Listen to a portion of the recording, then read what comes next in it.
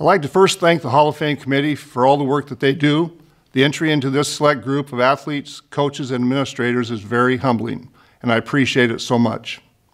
My journey in coaching started in high school in New Mexico when Farmington High School hired Sam Duane as our first and new basketball coach.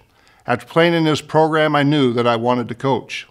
That meant going to college, and I graduated from Grand Canyon College in 1971. After graduating, my first job was at Chandler High School, where I was asked to coach B team football. Our record was 0, 7, and 1. Then basketball started. This should be easy, I thought.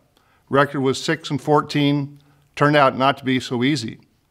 Then I was asked to coach tennis, and we were 14 and 6. Figure that out. I spent 10 years at Chandler, and the two major highlights there were meeting my future wife, Susie, and winning a state title in 1976. Notice I have the events in the right order. In 1981, we decided to make a move to Aztec, New Mexico, which is near Farmington, where I grew up. We spent three years there, had three winning seasons, and went to state twice. We left Arizona with one little boy, his name was Jason, and we returned to Arizona with two little boys, that would be Jason and that would be Justin. Then I heard that the Mountain View job was open. I applied and got the job thanks to Jim Curlett and George Smith. Coming back to Arizona turned out to be a great move for our family. After a few years of average success with wins and losses and great kids, we started turning the corner in the late 1980s.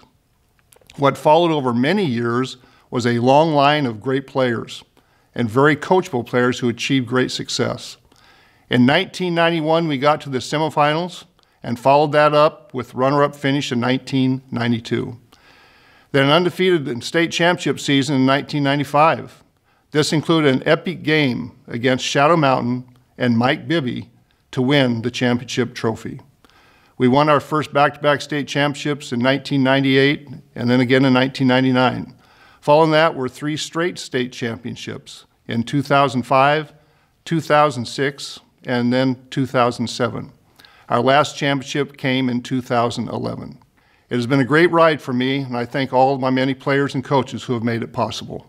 I'm Gary Ernst from Mountain View High School, Toro Pride.